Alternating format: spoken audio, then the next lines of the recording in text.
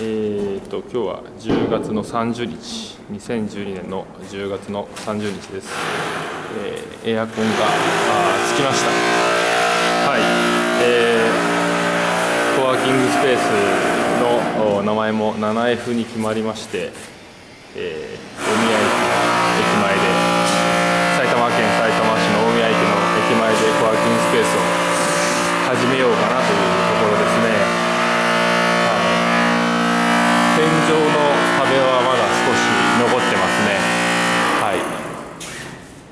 でエアコンがついていますと、はいこれ結局全部外すんですよね。ああなるほど。あなんかなんかなんか出てますね。は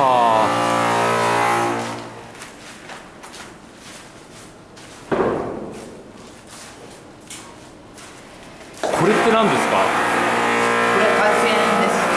換気扇。換気扇？あなるほど。換気扇で外につながってるんですか？そうですね。一応向こうの方に。はあ。そうなんですね。はあ。あでも若干能力が微妙なんですけど、エアコン併用っていうことで。あそうなんですね。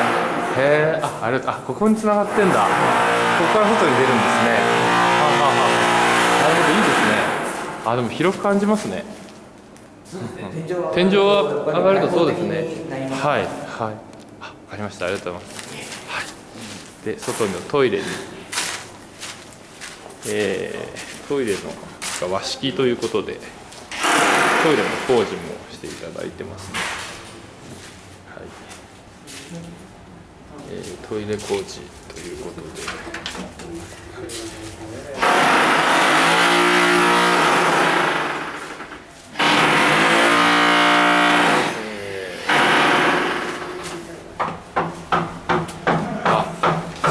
トイレがなくなってますね。はい。あの男子トイレなんですけど、えー和式だったのがなくなってウォシュレット付きの洋式になる予定です。はい。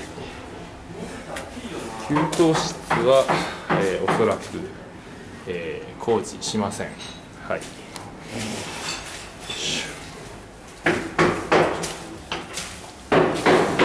えーあとープンまで1ヶ月ということで、えー進んでいきたいと思います。